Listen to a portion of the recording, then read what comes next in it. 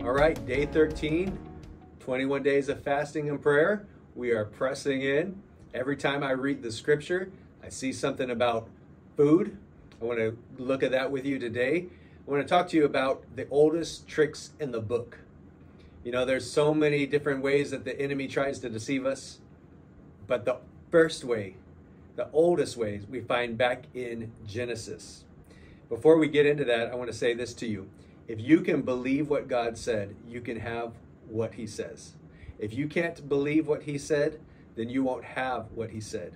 And this is why the enemy is always trying to deceive us and to keep us from grabbing hold of what God said and believing it so that we can experience it. And not only will we experience it, but He'll do things through us in other people's lives who are dependent upon us believing God's word. That's why God has blessed you to be a blessing. So let's look back at Genesis chapter 3, verses 1 through 6. It says, Now the serpent was more cunning than any beast of the field which the Lord God had made. And he said to the woman, Has God indeed said, You shall not eat of every tree of the garden? Let's just pause for a quick second. The serpent, the scripture just jumps right in there within three words. Now the serpent in the third chapter of Genesis. He's pointing out the bad guy right here and it tells us exactly what he's going to do and how he operates. Verse 2 And the woman said to the serpent, We may eat the, of the fruit of the trees of the garden, but of the fruit of the tree which is in the midst of the garden, God has said, You shall not eat it, nor shall you touch it, lest you shall die. Then the serpent said to the woman, You will not surely die, for God knows that in the day that you eat of it, your eyes will be opened, and you will be like God, knowing good and evil. So when the woman saw that the tree was good for food, that it was pleasant to the eyes, and a tree desirable to make one wise, she took of its fruit and she ate. She also gave to her husband with her, and he ate. Okay, so let's pause for just a second before we get into the tricks. Let's just identify for sure who's the serpent? Who's the serpent? How do we know who the serpent is? You probably say, well, the serpent is the devil. How do we know that? The Bible doesn't say right there, the devil came into the garden. It says the serpent came into the garden. But the way to understand the scripture, the best way to understand the scripture is to look at what other scripture teaches us. So if you read in Second Corinthians chapter 11, verses 3 and 4, Paul's writing to the church and he refers back to this incident. And let's look at what he says. He said, But I fear lest somehow, as the serpent deceived Eve by his craftiness, so your minds may be corrupted by the simplicity that is in Christ. So he goes back and he says, just as the serpent deceived Eve. So Eve was deceived. What was what is deception? What does it mean? Well, of course it means, you know, believing a lie, but but deception is more than just believing a lie. When you are deceived, someone has the intent, they want to coerce you to believe a lie. So deception isn't simply speaking uh, something that is not true because sometimes people will say things that aren't true, but they're not intending for you to believe it that something that is untrue. But but the serpent here coerced Eve to believe something that was not true. That's what deception is. He had evil intent to deceive her. And it's and the scripture says he deceived her by his craftiness. He didn't just accidentally throw something out there that wasn't correct. No, he knew exactly what he was doing when he questioned the word of God and undermined it. He said, he says this, for if he who comes preaches another Jesus whom we have not preached, or if you receive a different spirit from which you have not received, or a different gospel which you have not accepted, you might put up with it. So Paul is sitting here and he's saying, I am concerned about you that in the same way that the serpent deceived Eve by his craftiness, that the serpent is trying to deceive you. And the purpose of his deception is to try to get you to receive maybe a different Jesus or a different spirit or even a different doctrine or different gospel than which you've accepted, that, than what I originally preached to you. You know, there's more than one Jesus out there. There's more than one gospel. There's other spirits, and they're false. They're lies, and they will bind you up or they'll drive you straight to hell. And Paul is sitting here and he's saying, I am concerned that in the same way that crafty serpent of old deceived Eve, he, he deceived her and caused her to experience the consequences of sin death, spiritual death and physical death, separation from God and, and her physical death and Adam as well, being snuffed out in this life. He caused her to believe some things that had lifelong consequences, eternal consequences. And Paul is sitting here and saying to Christians, he said, the same serpent tries to deceive you and cause you to believe some things so that you end up putting your faith in, in a Jesus that is not the Jesus of the Bible. There are people who have a strong faith in a Jesus that is not of the Bible. They believe in Jesus, they love Jesus, they worship Jesus, they pray to Jesus, but it's not the Jesus of the Bible. And they don't even know it. If they knew it, they wouldn't be deceived. See, here's the danger of deception is you don't know you're deceived. You believe it to be true and you think you're right. That's what deception does to us. I clearly it's true. Clearly this is the right Jesus, but it's not. Maybe you receive a different spirit. The serpent is trying to deceive you so that you don't receive the spirit of God. Well, yeah, you experienced something, the burning of the bosom, as the Mormons say, who have been deceived by the serpent. Maybe you had an experience and and it seemed like there was a, it was a spiritual experience. You went down to the rainforest, you took some drugs, you saw visions, you saw spirits, you received those into your life, but it's not the Holy Spirit, and you've been deceived. And it might bring a sense of confidence and comfort and excitement and joy and peace for now, but it will lead you to eternal destruction. That's not what God wants for you. He said maybe you've received a different gospel, a different doctrine. You know, there are a lot of people who teach things that have a little bit of truth and a little bit of lies, and they're de- they're deceiving others. Sometimes they're doing it intentionally, sometimes they're not.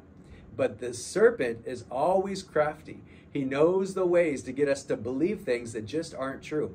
There are countless Christians who do love Jesus and who have even received the true spirit, but yet they believe things that are false.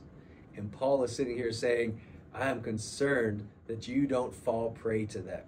So he's referring to that same deceiving serpent.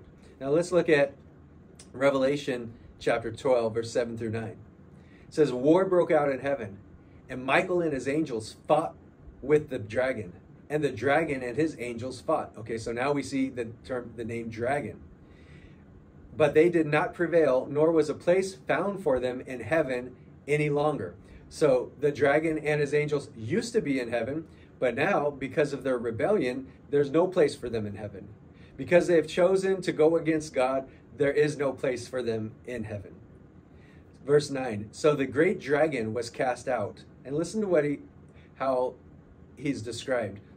That serpent of old, called the devil and Satan, who deceives the whole world. He was cast to the earth, and his angels were cast out with him. Look what the scripture says the serpent of old. You can't get any older than the book of Genesis. That's from the very beginning. He says, That serpent of old who deceives the whole world is the devil. It's Satan. From the very beginning, the devil has been deceiving. And that's just what he does, that's what he's after. And the scripture tells us that he was cast to the earth. That's a big deal. You know why? Because you and I we live on the earth, right? And so to know where Satan is at, where that serpent is at, and where he's doing his work, it's on the earth, and we live here. Satan always wants to cause us to believe what isn't true or not believe what is true. He's crafty like that, and that's his form of deception. Let me give you one more verse about this. 1 Timothy 4 1. Now the Spirit expressly says that in latter times some will depart from the faith, giving heed to deceiving spirits and doctrines of demons. Now the Spirit expressly says that in the latter times some will depart from the faith, giving heed to deceiving spirits. In the latter times, some who have embraced the faith, who have had faith, they have laid hold of Jesus by faith, in the latter times, some will depart from the faith. They will leave the faith, giving heed to deceiving spirits. So Satan and all those fallen angels, all his cohorts there, are deceiving spirits. And people who had faith at one time will depart from that faith when they give heed to or listen to the deceiving spirits and listen to this and doctrines of demons. The doctrines are teachings, teachings of demons. It is the way the enemy of our soul comes in. He doesn't throw knives at you. He doesn't make monsters jump out of closets. He doesn't do some type of you know miraculous thing where where he's going to crush you by with with demons. That's just not how he works. He gets you to depart from the faith with doctrines of demons. He gets you to depart from the faith by teaching you to believe things that aren't true or not believe things that are true. You depart from the true faith of the in the word of God in the true and living God by embracing these false doctrines. And this is what he's all he's always doing. These demonic doctrines, this is how you know a demonic doctrine. It will keep you in bondage and it will separate you from the faith. So a demonic doctrine will come in and cause you to not believe God. I didn't just say believe in God. I said to not believe God. You can believe in God, but not have faith in God. See, it's different than, hey, I believe he exists versus uh, I believe what he says. I believe who he is, not just I believe that he exists. That's how Satan always works. He tries to get us to depart from faith. So if you find yourself questioning whether or not you can believe, or questioning what God said, or I just don't know, or I know He said, but it, that is the doctrine of demons. That is a deceiving spirit trying to get you to depart from the faith. So let's go back to Genesis chapter 3, verse 1. Now the serpent was more cunning than any beast of the field which the Lord God had made. And he said to the woman, Has God indeed said? This is trick number one of the oldest tricks in the book. It's to question what God said. Did God say that? Did God really say, You shall not eat of every tree that's in the garden? See, God did say that you should you you should eat of any tree except for this one. So he comes in and he just twists it a little bit and he starts to cause you to question what God has said. And this is why it's so important to read the word and know the word and go back to the word and do it daily. So that when the, the deceiving spirit, Satan comes and he tries to say, Hey, has God really said that? And you're like, Wow, you know, I don't know if God really said that. Go back and find out what God has really said. Because what Satan said wasn't accurate. God didn't say that you shall not eat of every tree in the garden, but he's trying to catch her off guard.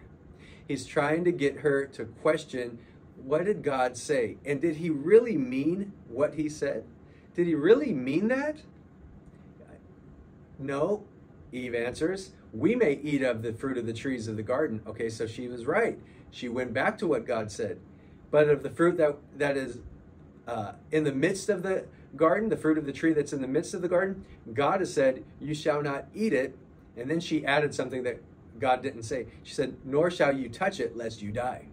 So God said, If you eat of it, and the day that you eat of it, you'll die. She added, If you touch it.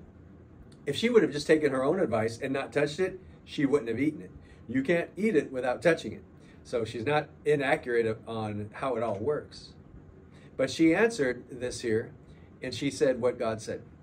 Now, Satan doesn't back off just because you repeated the word of God. He keeps going after you. And look at trick number two. We see it in verse four. Then the serpent said to the woman, You will not surely die. So he's contradicting what God said. For God knows that in the day you eat of it, your eyes will be open, and you will be like God, knowing good and evil. This is trick number two of the oldest tricks in the book. Base he will get you to base your faith not on what God said, but on what he knows. Has God really said? Well, yes, he said these things. Okay.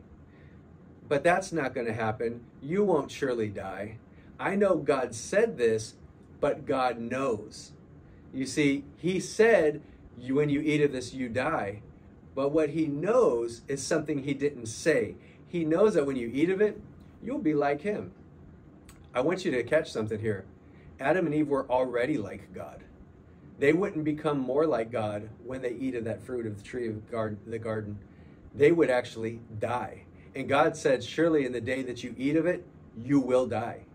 You will die. But Satan, what he causes is us to question Does God know something that he didn't tell us? Well, maybe even though he told us that, you know, God knows a lot of things that um, he didn't say. And maybe uh, he knows what's better for me, what's best for me. You know, sometimes we things say things like this, well, God knows what's best when we don't see what he said come to pass. Well, let me ask you something. Does God know things that he did not say? Yes, absolutely. God knows where you live. He knows your name. He knows the date. He knows all kinds of things that he did not say in his word. But does did God say anything that contradicts what he knows? Absolutely not. God does not lie. He cannot lie. God can only tell the truth. And so this is what Satan is always asking. He's always trying to, to uh, get us to uh, not believe the word of God and believe that maybe, maybe God, ha- who has good intentions for us, is withholding and not fulfilling his word because he knows that by not doing what he said, that would be best for you. Does God ever say things that are not true? Did, you know, sometimes we say God is sovereign. God is sovereign. Did God become sovereign after he said these things in the word? Not at all. God's omniscient. God knows everything. Yes. But was God omniscient when he said these things? When he inspired his word? Was God omniscient back then? Yes. Has God learned anything since then? Not at all. He didn't become omniscient after he spoke his word. God is not a man that he should lie, nor is he the Son of Man that he should repent. Has he said and will he not do? Has he spoken and will he not make it good? That's Numbers 23 19. God cannot lie. He does not lie. So think about this. The very first trick in the book, the oldest trick is to question whether or not God has actually said something. That's trick number one. Has God said it? And really, he's saying, did he mean that? Did he mean what he said? And the second trick is, God knows something different than what he said. So look at this here. The way that the enemy came in to Adam and Eve is the way that he came to Jesus. Another food scripture, Matthew chapter 4, verse 1 through 4. It tells us this story after when Jesus was fasting. It says, Then Jesus was led by the Spirit into the wilderness to be tempted by the devil. And when he had fasted 40 days and 40 nights afterward, he was hungry. And again, I think after about 40 minutes, I'd be hungry. I'm hungry right now as I'm preaching this here. But I'm hungry for uh, God to do something significant in my life. How about you?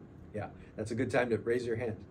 Verse 3 Now, when the tempter came to him, he said, If you're the Son of God, command that these stones become bread. Okay, here he is using food again, and he's trying to get uh, Jesus to fall. Now, understand what's happening here. In 1 Corinthians 15 45, it says, So the first man became a living being, being the last Adam became a life giving spirit. The, the first Adam was Adam, and he was tempted by the enemy, and he fell. And we know that through his fall, death spread to everybody. But then the second man, Jesus, the second Adam, the one who was that was uh, righteous and um, came with the assignment to fulfill God's purpose on earth. He was without sin. Hit, through his righteousness, salvation was made available to the whole earth. Okay, so Satan comes to tempt Jesus, the sinless Son of God, in the same way that he came and tempted Adam and Eve, the sinless children of God. They were sinless at that time. And he does it by appealing to them through food. This is why it's so important to fast and to deal with your flesh because your flesh uh, wants what it wants and our spirits need to take authority. This is why we're pressing into 21 days of fasting and prayer. And if you haven't uh, jumped in yet do it now. If you've fallen off the wagon get back on the wagon. If you're watching this way beyond january of 2024 set aside time to fast and to pray. Jesus answered and said, Man shall not live by bread alone, but by every word that proceeds from the mouth of God. Look at the first thing that Satan said to Jesus. He said, If, if, he's causing him to question his identity, he's causing him to question what was true, causing him to question the word of God. He's trying to get him to question if you're the Son of God. Did Jesus know he's the Son of God? Well, by this time, he definitely did. In fact, back when he was 12 years old, he was found in the temple and he said, I must be about my father's business. I must be about it. So he knew that he was the Son of God way back then. I mean, he grew up in, in Nazareth, but he was born of a virgin in Bethlehem. I mean, how many other kids were born of a virgin in Bethlehem, as was prophesied in the Word, and then lived in Nazareth? because as he would be called a Nazarene. All of these scriptures pointed to him. So here's Satan, who also is seeing all these scriptures, and he's trying to get him to deny, or really, um, he's trying to get him to take a shortcut and give into his flesh to affirm his authority and who he was. But Jesus responded, and he said in verse 4 It is written, Man shall not live by bread alone, but by every word that proceeds from the mouth of God. We know that we live by food, but we don't truly live by eating food. We live by every word that proceeds out of the mouth of God. Well, that trick didn't work on, on Jesus because he responded with the word. He responded by, It is written. He didn't sit there and say, Well, you know, God knows that I'm hungry. And so I'm not going to make it if I don't eat. No, he responds with, It is written. Satan takes him up onto the pinnacle of the temple, says, Throw yourself down. Jesus responds with, It is written. Even though Satan tried to use the word to trick him. And he's like, No, no, not at all. It is written. And then finally he says, He shows him all the kingdoms of the world in a glance. And Jesus responds with, It is written. What's happening right here? Jesus is showing us how to win every battle. Every single battle that you face, you can win if you stick to the word. If you just stick to what is written, not what you think, not what you want, not what you feel, not what your past experiences are, not what the experts or the professionals say. If you stick with it is written, then you're going to win every single battle. And notice this it is written, man shall not live by bread alone, but by every what? thought that proceeds from God's mind? Not at all. Every word that proceeds from his mouth.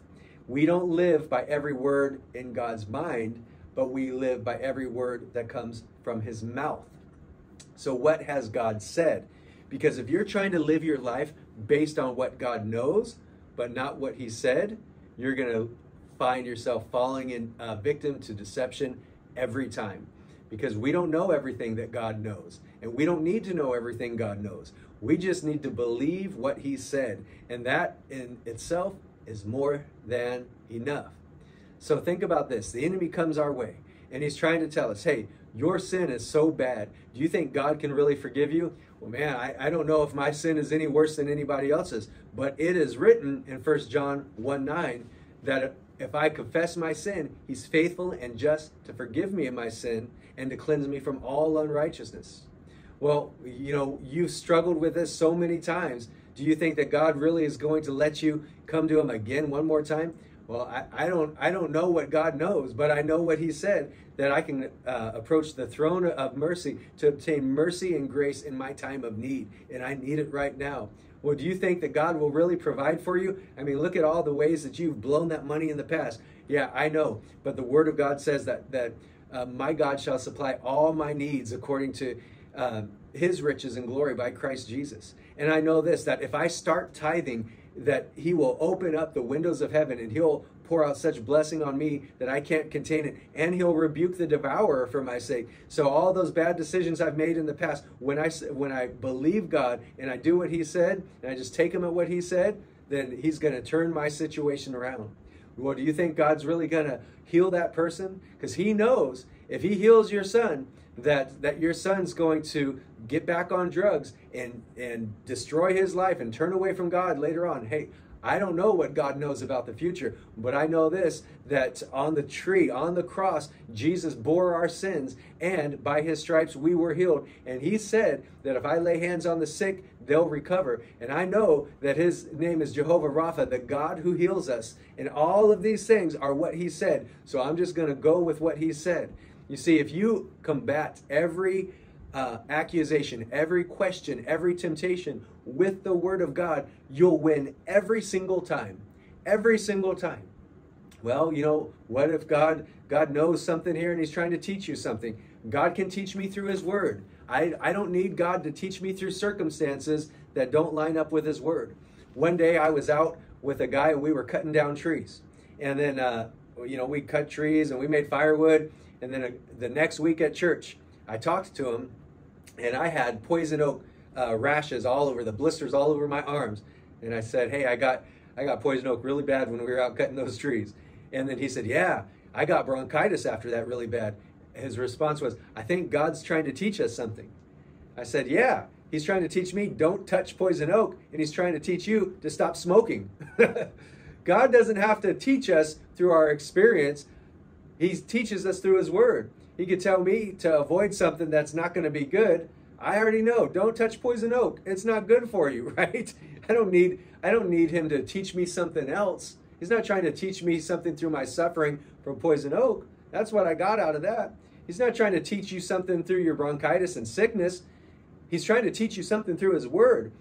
He's trying to teach you how to to get healed. He's trying to teach you how to stay healthy. He's trying to teach you how to stay in peace. If you're in anxiety, if you're suffering, if you're stressed out, God's not trying to teach you something by doing that to you.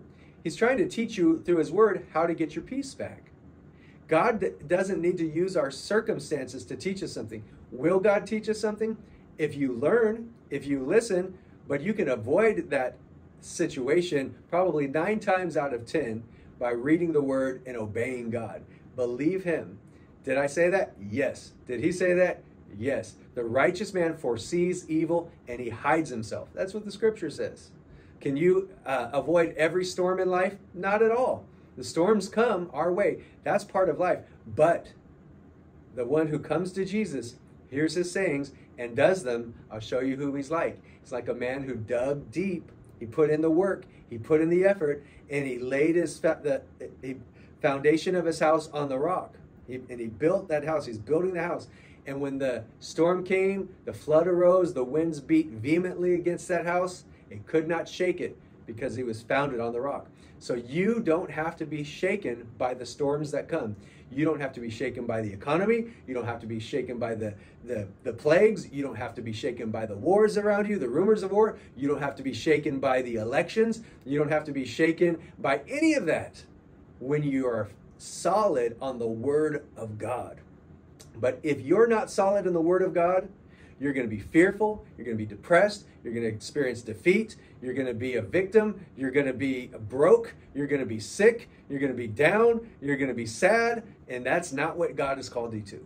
So we have got to grab a hold of the word and preach ourselves happy with it. And that's why I'm on here every single day preaching the word. If you made it this far with this message, and I hope that your faith is growing. I hope you're being challenged. I hope that you're, in fact, if you made it this far, you are growing because you're determined that you're going to press in. You're hungry for the word. That's what we have to go after. We're not someone who just turns it off after six minutes and says, eh, that's enough for me. No, you're pressing in. And if you turn it off, turn it off and get into the word. Find another preacher that builds your faith. Do whatever it takes to lay hold of the Word of God and get that so solid in you to where every time that a challenge arises, the first thought in your mind is, It is written. I hope that encourages you. If you need to turn your life over to Jesus, repent from those believing those lies, those deceive, you know, doctrines of demons. Hey, every single one of us have believed lies in the past. And this is why God's bringing us the truth. So it's not condemnation, it is where we're at. It's where Jesus meets us because he wants to pull us up out of that. So what do you do? You repent. You, you say, God, forgive me. I believed a lie. I'm sorry for that. Wash me, cleanse me with the blood of Jesus. I receive your forgiveness. I receive mercy. Now, Lord God, I open up your word right now, and I, I choose to believe every single thing that I read here. I choose to believe it. And Lord, I'm not going to be one who is deceived and departs from the faith. You know, there are so many people in churches today that departed from the faith a long time ago. They don't believe God anymore. They're, they're not willing to step out in faith. They're not willing to trust Him. They say they trust Him, but they don't believe His word. And you can't trust someone if you don't believe their word. You wouldn't believe you wouldn't trust me if you can't believe me. You wouldn't say, "Yeah, I trust him," but that guy's the biggest liar there is. No, you would never do that. If if I'm if I'm trustworthy, it means I keep my word. God is trustworthy. I hope that encourages you and strengthens you today. I'll be back with you again tomorrow. God bless.